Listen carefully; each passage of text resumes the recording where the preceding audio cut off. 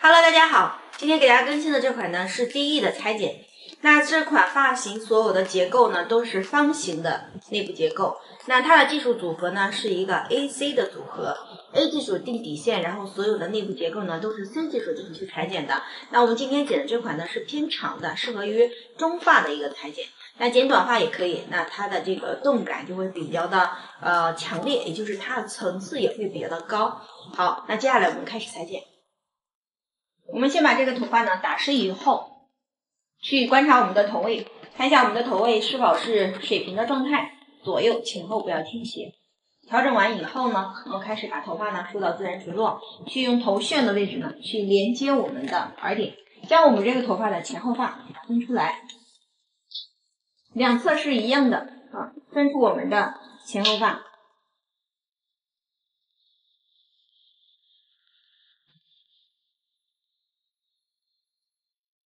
耳点垂直向上，将我们的前后区给它分出来。然后我们先从后区开始裁剪。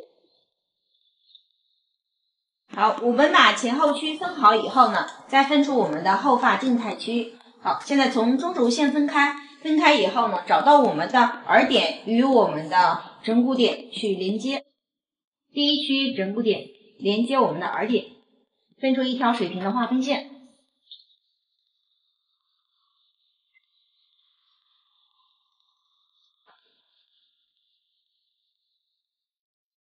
好，我们把这根头发呢，给它夹起来，继续的找到我们的枕骨点，去连接我们的耳点，分出一条水平的划分线。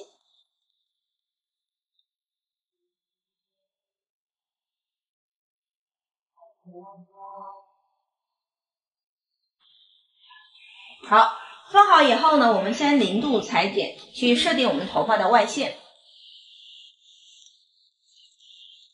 零度剪方形，也就是我们之前剪零度方的一个裁剪技术啊。我们之前有更新过弯带式零度的裁剪。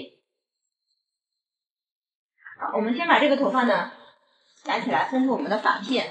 那这款发型我们由于定外线的时候呢，我不会将它分的过于的薄啊。等一下我们还会剪它的层次，所以呢，我现在分的这个发片的厚度呢相对的宽一些啊，因为我们现在去定它的外线。好，我们把它梳到自然垂落。好，梳下来以后呢，今天我们定的长一点，长度我会放在我们的这个呃锁骨的位置，大概在啊。我们把它梳下来，从中间的这个地方啊，从我们这个头骨的最中间的位置呢，去确定我们的参照面。那现在剪的是后部的方形。好，零度裁剪，继续的将我们的右侧的头发呢梳至我们的转角线以内，去将这条水平的切口呢给它直线延长。剪左边，同样的还是稍微的压压一点点我们的梳子，好，去确定一下我们左右两边的长度。如果说我们的发片比较长的话呢，我们最后一片可以稍微的放长一点，因为这样子的话方便我们去观察。因为我们左侧大多数的小伙伴容易把它剪短啊，手位的问题，容易将这根头发剪短。好，确定好两边长度以后呢，我们继续的往上走，继续的分出我们的发片。在我们的枕骨区以下建立一个零度的方形。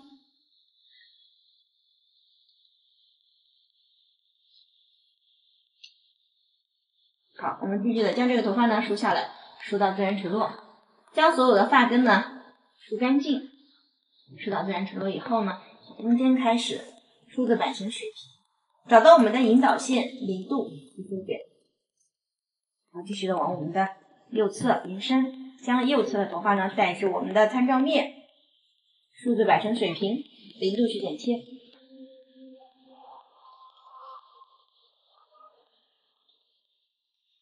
好，继续。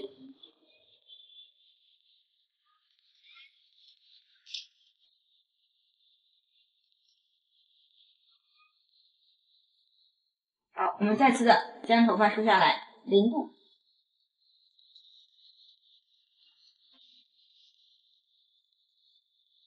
梳下来以后呢，转至我们的后部参照面。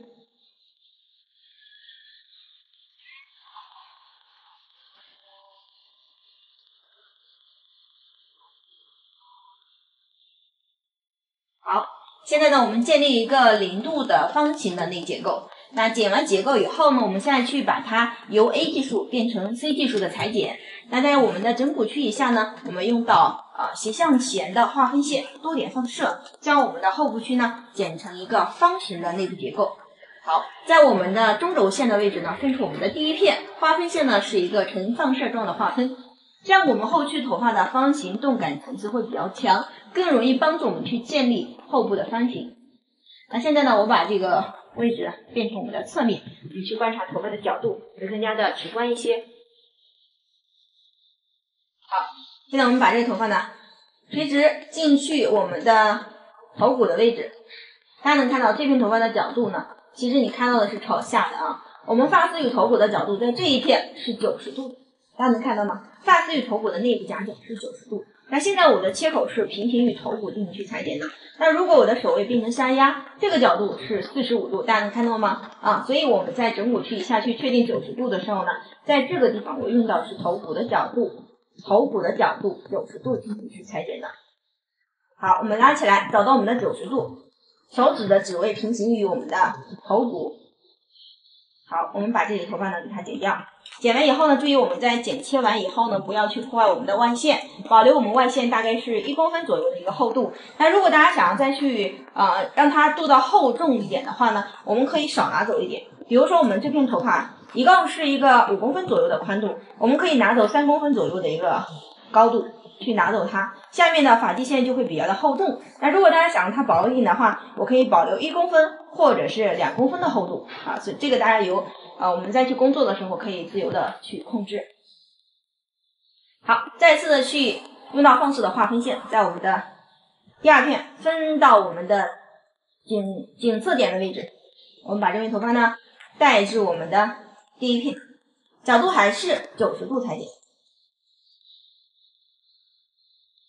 还是九十度裁剪。好，剪的时候呢，不要破我们的外线。在我们的枕骨区以下，用头骨角度九十度裁剪，得到的量感是一个偏饱满的一个效果，并不是去除的非常多。好，我们再次的将我们转角线以外的头发呢，带至我们的转角线以内，角度还是头骨的角度九十度进行去裁剪。那如果我们今天用垂直切口进行去裁剪的话，我们下面的去除量就会比较的大啊，就有点像反曲线的一个层次，它的这个量感都比较高，我们的头骨的关系。好，我们再次的将这片头发呢带至我们的转角线以内，再过来。其实这片头发在去修剪的时候已经剪不到多少头发了，已经剪不到多少。那放下来以后，我们的外线是没有被剪缺的。好，我们的内部层次呢就会出现一个流向向前走的一个。平线，那这就是方形的落位所产生的一个效果。好，继续的我们去剪我们的另一侧。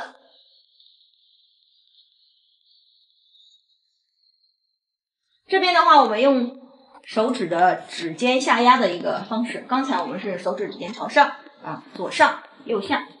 好，我们继续的做到放射的划分线分值到我们的颈侧点。我们把这片头发呢夹干净。好，现在我们把这片头发呢带到我们刚才 Q 剪的第一片的头发作为导线啊，二带一，继续的剪方形的内结构。好，找到我们的发丝与头骨的角度九十度，手指平行与头骨进行去提升。好，保留我们外线的厚重。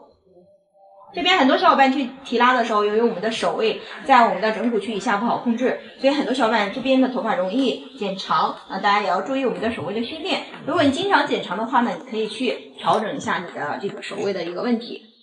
好，继续的将这个头发呢带至我们的转角线以内，还是九十度裁剪，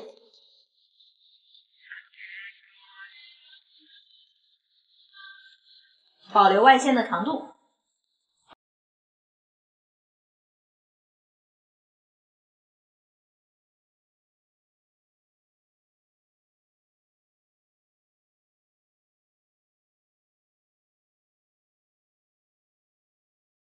是呢，它不会收的过于的紧，因为我们用头骨角度进行去裁剪的时候呢，它还会得到一点饱满的效果。我们横向去检查一下它的切口，在我们的参照面以内，它是一个直线的一个剪剪切口。那这个时候大家也可以去交叉检查，如果在这个时候我们切口不太干净的话，我们可以去啊横向的再次去做一些调整。交叉检查永远是给我们自己提升精致度的。如果我们再去经常去训练的时候呢，也可以去看一下，我们横向观察的时候有一些问题，或者是切口不干净的时候，我们可以去做一些调整。如果切口比较大，那这个时候我们要纵向的重新的再来一遍。好，这一次头发我们剪完了，我们继续的找到我们黄金点的位置。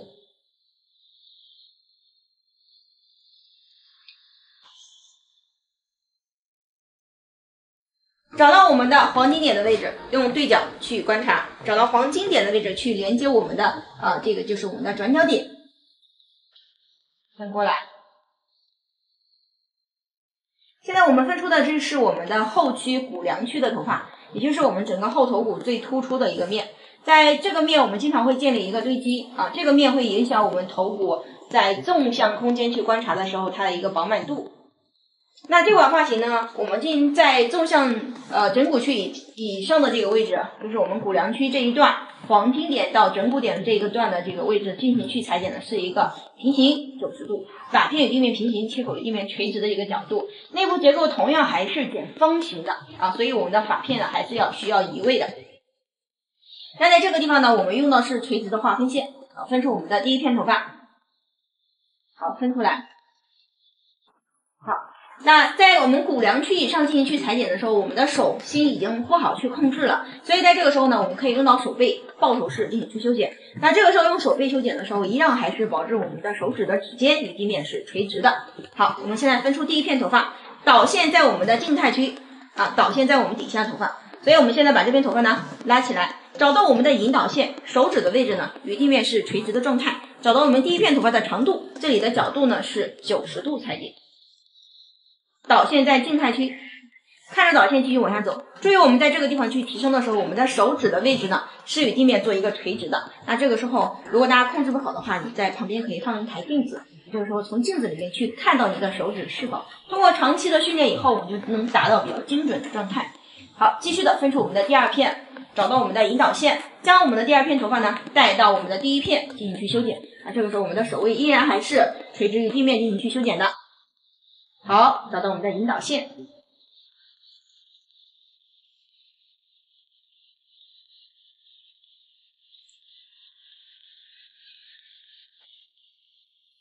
继续的垂直分成我们的第三片。第三片头发呢，已经跨越我们转角线以外了，所以我们进行去提升的时候呢，要抬高一点角度啊，因为这里头发的落位点已经不是在我们的正后面了。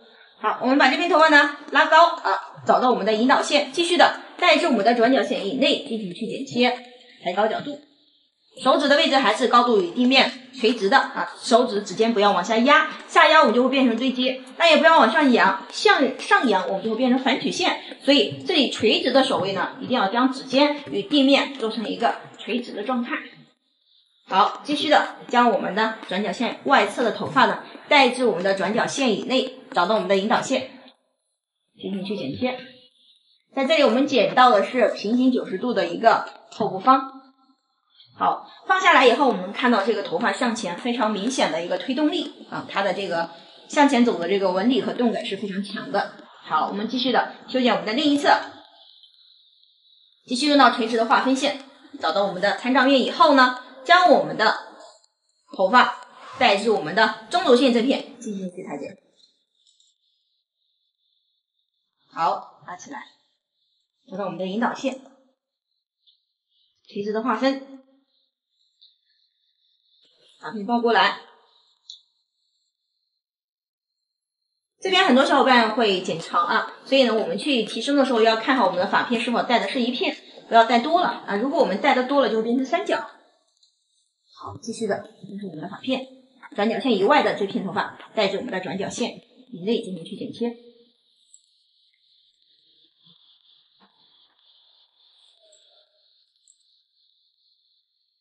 好，你的发依然还是带过来，带至我的转角线以内，角度呢略微的抬高一点点。抬高的目的呢，是因为侧区头发的张力比较大，头发在落位的时候呢，在我们的侧部区，所以我们抬高角度呢，我们的外线的头发呢就会得到一些保留。好，现在我们梳过来以后去看这个头发呢，在我们的枕骨区的位置呢，啊这一片头发是比较宽的，因为我们剪的是方形，往后往中间靠片的时候呢，我们外侧头发就会延长，头发的推动力呢是自然向前走的一个后部的一个效果。好，我们现在把它拉起来，在我们的手中去交叉检查，看一下我的切口在横向平行九十度的时候是否精准啊？如果是精准的，说明我们的控制力是可以的。如果在这个地方拉起来有一些不干净的切口呢，我们去交叉检查一下就可以了。好，那现在是我们的后部的方形，呃，平行九十度垂直的划分线。好，现在我们去剪我们的动感区的头发。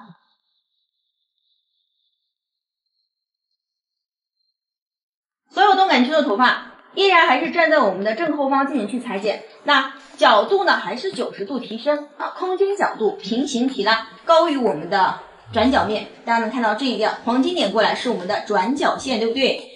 这样子提拉是平行于提拉啊，平行于转角面提拉，在我们的正后方。那现在呢，我们是角度要高于转角线提拉，这样去剪切完以后，后续不会产生重量线啊，但是它也是比较一个厚重饱满的一个效果，因为头骨的角度呢，并没有达到一个去除的层次。好，现在我们把这个头发呢梳过来，我们将所有的头发都往后带，剪完以后呢，所有的头发的流向都是向后去包裹的一个状态。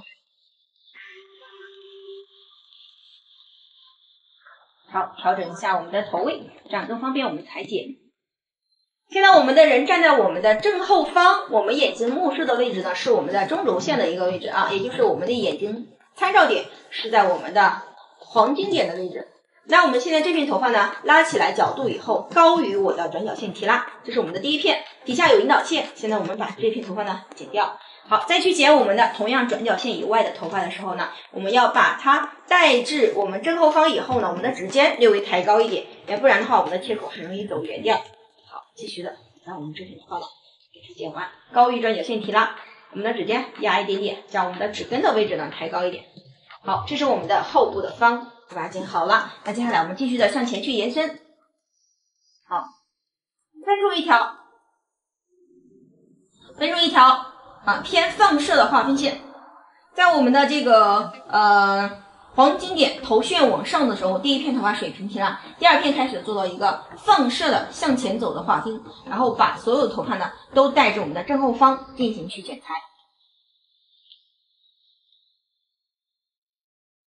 好，现在我们拉起来这片头发，同样还是高于我们第一片头发的角度进行去提升，拉高角度进行去裁剪。继续的第二片头发做一个放射的划分，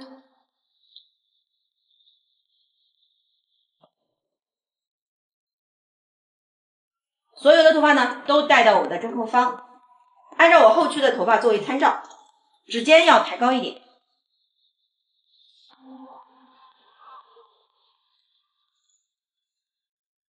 他们去剪完以后呢，我侧区的头发就会很长。那接下来我们继续的零度将这里的外线呢再次去剪切掉。做到一个放射的划分线，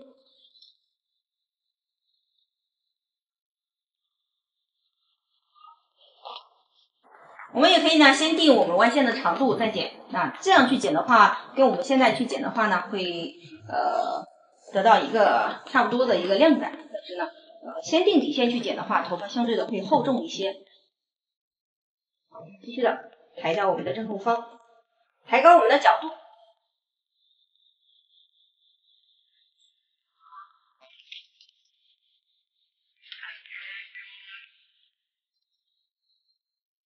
好，现在我们把所有头发放下来以后，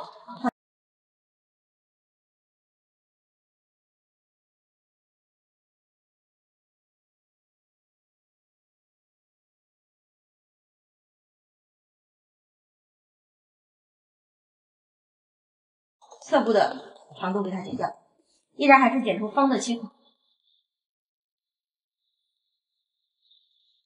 这个头发呢，就是向前走的一个流向。侧部区的这个外线呢，相对的就会厚重一些。好，继续最后一片。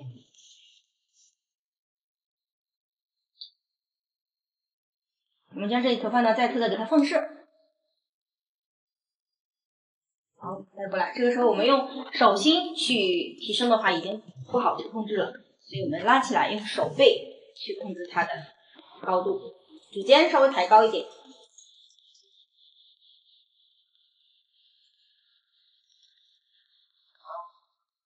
现在放下来以后呢，按照我底下的导线梳下来，再次将这一头发呢零度给它切掉。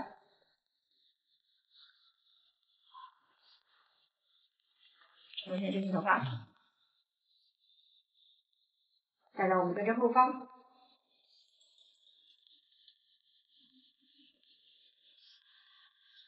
高度呢逐渐的提升。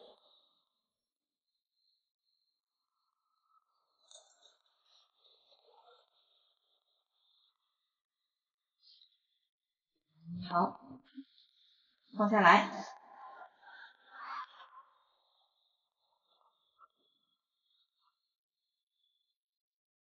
长出来的，按照我们的后区的头发，继续的将它剪掉。咱们在去剪外线的时候呢，可以略微的放长一点点啊，因为前面的张力比较大。我们之前有讲过，外线的头发呢放长一点，头发吹干了以后呢，它的张力会比较大，所以它会弹上去一些。好，那这里头发剪了以后，我们能看到所有的头发都是向后走的一个流向。当我们把这个侧区的头发呢梳起来的时候，我们能看到这个头发的落位啊，这个头发的落位下来有点像三角的感觉，后转前长。所有的头发呢都是向前去推动的啊。这款发型呢也是一款中长发，推动力比较高的一款发型。我们继续的将另一侧头发给它剪完，垂直分出我们第一片头发，分过来以后呢。人站在我们的正后方，这个时候我站在，我把这个机位调过来，让大家看得更清楚一点。好，拉过来以后，高于我的转角线提拉，转角线是水平的，把这片头发拉起来呢，看到导线以后高于我们的水平面，梳过来以后。这个时候，我们的指尖呢压低一点点，抬高我们的胳膊啊，抬高我们的胳膊，保留我们外侧头发的长度。这已经放长了一些啊，现在先不用去管它，我们继续的再往前走。那现在呢，变成放射的划分线。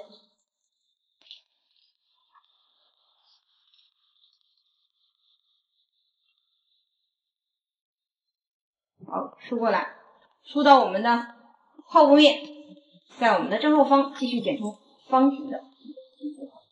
带过来，胳膊抬高，指尖略微的压低，这个时候我们的外侧头发就不能剪去掉。好，那现在放下来以后呢，我们再按照我们后区的头发的长度，将我们侧部区底线的头发呢给它剪掉。好，我们把它梳起来，零度，看到我们后区底线以后呢，进行去裁剪。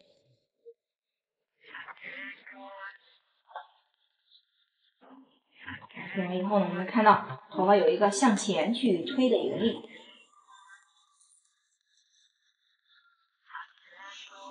好，继续的给它放射的划分线。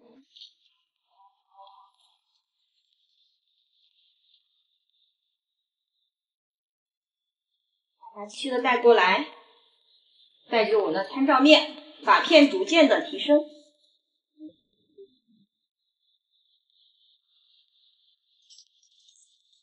胳膊要抬高，胳膊抬高的时候，我们的指尖就会压低。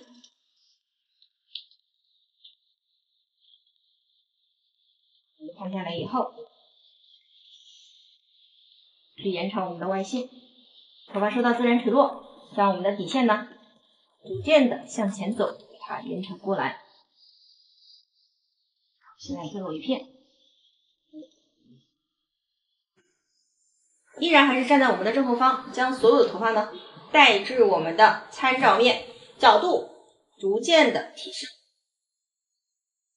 抬高胳膊，压低我们的指尖，这个是训练我们对高角度横向剪方的一个训练。放下来以后，我们前面头发就会比较的长。接下来我们把这个外线呢再次的梳下来，零度的去把它剪切掉。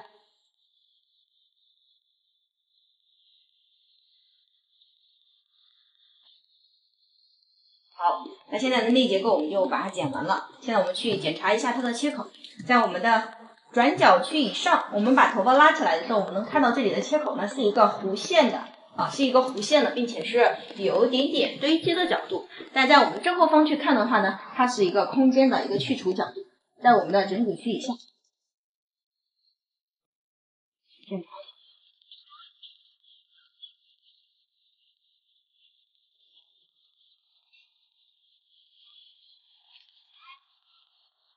我们拉起来这片头发，去看一下，这里的角度呢是平行，这里的角度是平行九十度，上面的角度呢高于我们的平行九十度，所以上面没有一些重叠的角，所以呢头发落下来呢不会有硬线，它是一个弧线的一个切口上去的。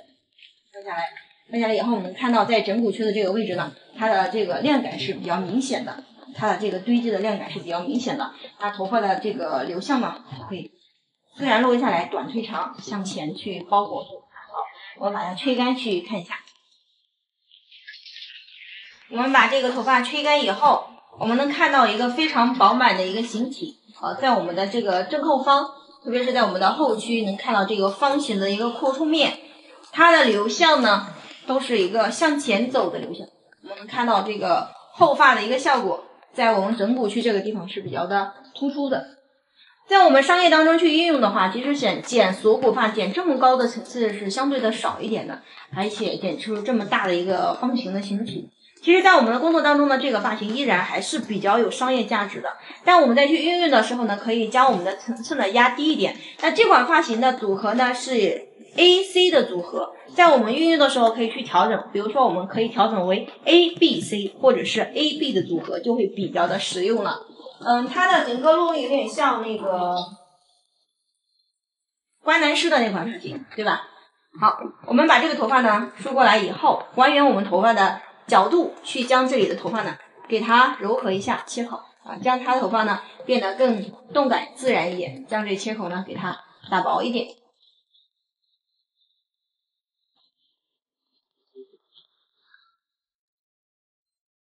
打薄的时候呢，也是垂直进刀，不要去破坏我们的外线啊。拉到我们刚才修剪的角度，将这里的发片呢垂直进刀，揉一下切口就可以了。好，拉起来。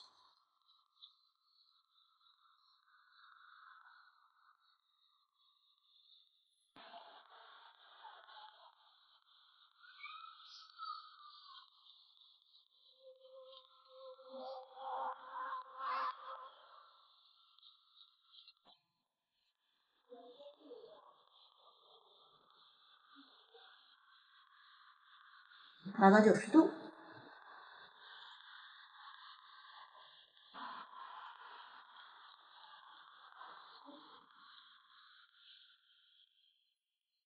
垂直进刀将我们所有的发尾给它做一些柔和，让它看起来呢头发更具动感，没有硬线。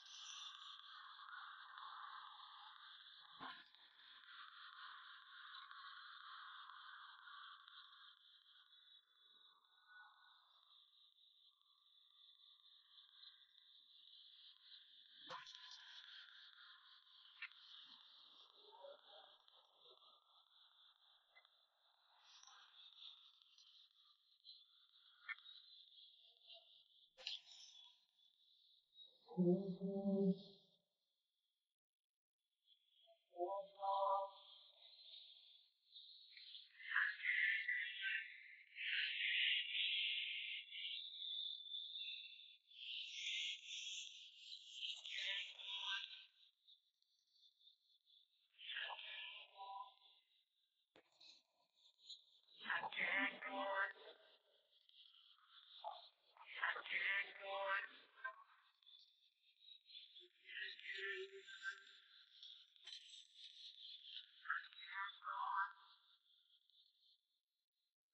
好，我们给它再次吹一下，它稍微的做一个造型，看起来更好看。现在我们把它吹干了以后，啊，我们能看到这个头发呢，嗯，它的切口就没有那么明显了，但是它的形状还在这里，啊，就是发型的形体还在这里，依然还是一个向后包裹的一个方式。整个后面的宽度是比较宽的。去看的话，前面两侧头发呢是一些厚重的，因为我们再去剪的时候呢，前面头发一些都是比较长的，很多头发都是没有剪到它，所以呢，前发的前面头发呢是比较厚重的。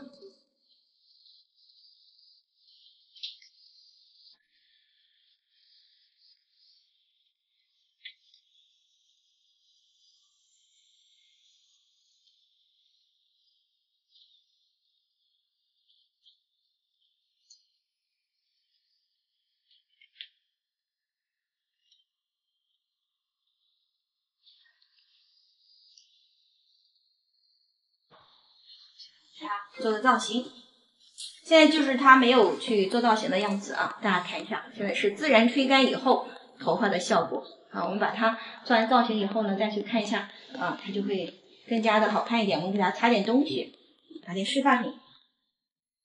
我们把它简单的做了一个造型，呃，吹顺了以后擦了一些湿发品。那现在我们能看到这个头发的形体，它的纹理，在我们的后区呢。它的这种动感线条落下来是比较明显的，然后头发的体积感是很宽的一个面。那我们把它转到侧面，我们能清晰的看到在后区头发堆积下来的一个效果。其实，呃，我们讲的是去除层次，但是在枕骨区往上的位置呢，头发的角度已经不是在头骨的角度九十度了。所以，我们虽然是空中角度去除的层次，但是它的亮感还是比较明显的。